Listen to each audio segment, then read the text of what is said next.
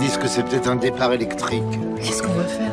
La seule salle aux normes, elle est dans un endroit où personne veut foutre les pieds. Écoute, c'est c'est joli, hein. C'est juste une maison de retraite, hein.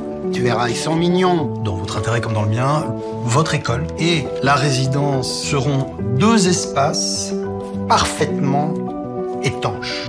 J'ai hâte.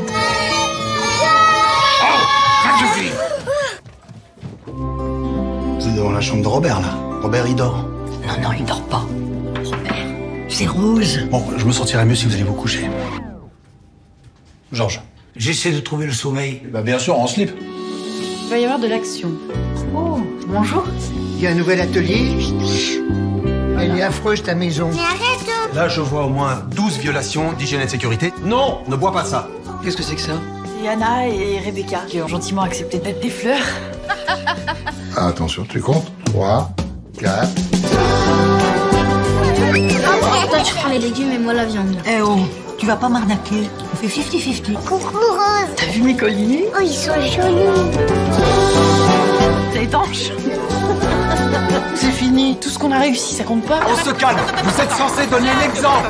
Faut les faire revenir, sinon on va crever à petit feu. Je croyais que vous vouliez qu'on vous laisse tranquille. J'ai changé d'avis. J'ai envie qu'on m'emmerde. Tu crois que c'est une bonne idée? Non. c'est une très mauvaise idée. Il faut vivre.